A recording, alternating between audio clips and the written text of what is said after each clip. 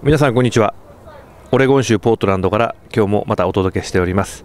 今日ちょっと 遅くなってしまって少し暗くなってますけれど、えー、と続けます。さて今日のトピックスはこちらですね。こちらです。ハワイからゴミがやってきます。えっ、ー、とですねハワイ、えーと、オアフ島からゴミが、えーと、コロンビアゴージという、えーと、コロンビアコロンビアコロンビア川沿いにある、えーと、そういうエリアがあるんですね。そこにゴミがもあの運ばれてきます。それがワシントン州側ですね。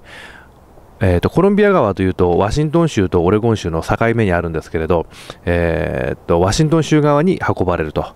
で、それそれを、えー、と州政府があの許可を出してます。USDA が許可を出してるんですけど、それに対して、えー、とあとシアクラブというそういう団体が今裁判を起こしてあのあの持ってこさせるのをあのストップさせようとしてます。しかしながら今週金曜日に、えーと、持ってくるというような予定になっておりますのでさてこの裁判の行方は一体どうなるでしょうか。